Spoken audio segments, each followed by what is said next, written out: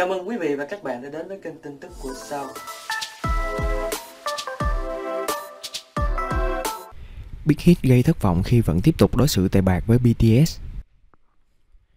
Cụ thể vào ngày 1 tháng 9 vừa qua, Jungkook đã có một buổi live trên V-Live ở thời điểm mà chỉ có khoảng chục phút nữa là sẽ sang ngày sinh nhật của mình. Buổi phát sóng live này được đặt tên là Happy Birthday to Me và kéo dài gần 3 tiếng đồng hồ. Khi xem buổi phát sóng này, mặc dù rất thích các tương tác của Trung Quốc, nhưng nhiều fan và Knet cũng không tránh khỏi việc để ý những chi tiết bên lề.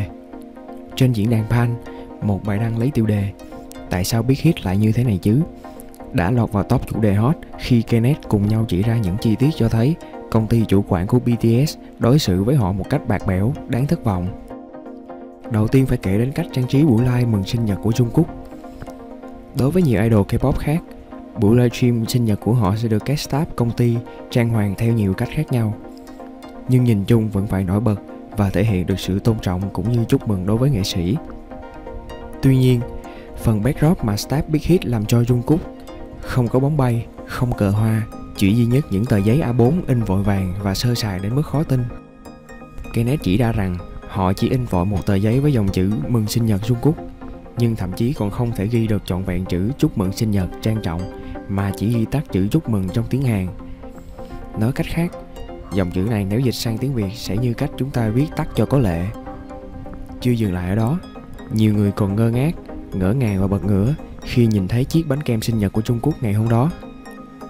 Đây chắc chắn là bánh kem do staff chuẩn bị. Bánh không hề có chút trang trí nào.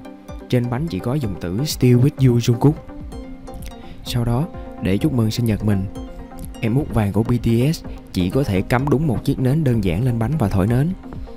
Chưa cần nói đến việc bản thân Trung Quốc là idol K-pop nổi tiếng. Ngay cả một người bình thường vẫn có thể có một chiếc bánh sinh nhật đúng nghĩa và có thẩm mỹ hơn như thế. Những hình ảnh này ngay lập tức được các ARMY chia sẻ trong sự thất vọng khi ngay cả sinh nhật là dịp quan trọng nhất, nhưng các thành viên cũng bị đối xử tệ thiếu tôn trọng. Ngay đến cả Kenneth cũng không thể hiểu nổi chuyện gì đang xảy ra với Big Hit. Theo lý mà nói, lẽ ra BTS là công thần và mang về hơn 80% lợi nhuận của công ty thì họ sẽ được đối xử tốt hơn. Thậm chí xứng đáng được đúc ngai vàng như lời đàn anh cùng nhà Lee Hyun đã từng nói. Dù vậy, công ty này càng ngày càng có những động thái thiếu tôn trọng với các thành viên dù những điều này thực sự không hề quá vĩ đại hay khó khăn để làm được